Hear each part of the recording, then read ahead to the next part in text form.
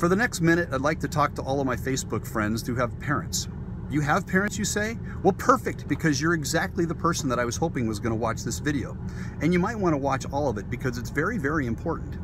You may have noticed that the baby boomer generation is continuing to get older, and as the cycle of life continues, there's going to be a situation coming up soon where you will either be faced with taking care of your parents or finding someone who can take care of your parents. And that's exactly where my S4 group can be a great resource.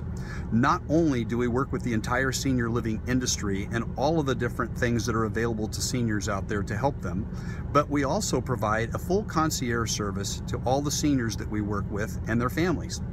We can take care of anything from packing to moving to storage to estate sales to junk removal. Of course, we can take care of any home repairs and we always offer professional real estate services.